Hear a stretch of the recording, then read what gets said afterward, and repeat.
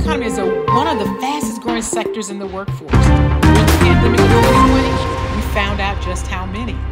Laws were even changed to make sure that contractors, the self employed, freelancers, and side gig workers were taken care of. The gig economy is a labor market characterized by the prevalence of short term contracts or freelance work as opposed to permanent jobs. It is a growing sector that I believe that will continue to grow.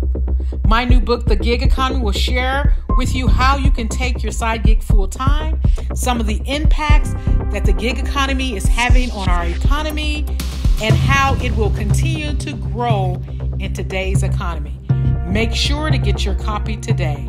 The Gig Economy, the future of work in today's new.